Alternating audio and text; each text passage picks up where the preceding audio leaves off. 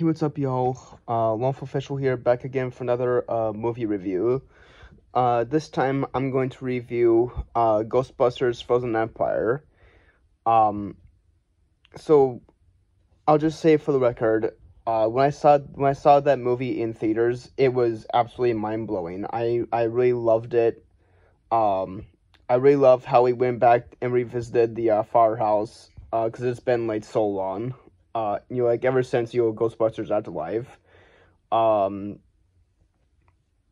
we got to we got to see uh the we got to see the OG uh Ghostbusters again. Uh, we got to see the teacher. We got to see um, you know, the Spengler kids. We got to see the mom. Uh, I think we also got to see Podcast too, and uh, you know, basically, uh, basically, what I'm trying to say here is that we basically got to see a lot of the uh, characters from Ghostbusters Afterlife. Um, so, uh, in Ghostbusters uh, Frozen Empire, they go back to the beginning again, and uh, when they when they discovered this like evil artifact, um, they have to stop uh, an evil force that uh, uh, you know that they stop an evil uh, evil force uh, from becoming like a second a second um, you know ice age in the world.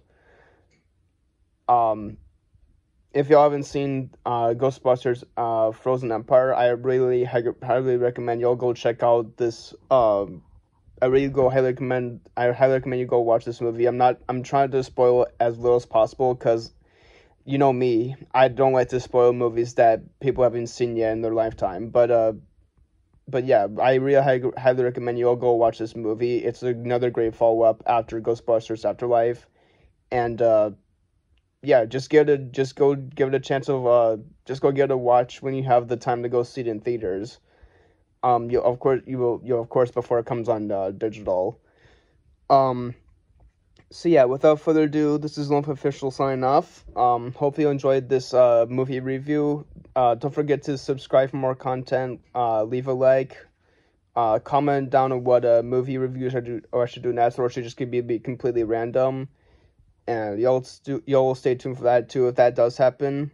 Um, but yeah, until next time, Wolf official sign off, and uh, tell next to a movie review of whatever comes up next on my channel. I'll see you all next time. Bye bye.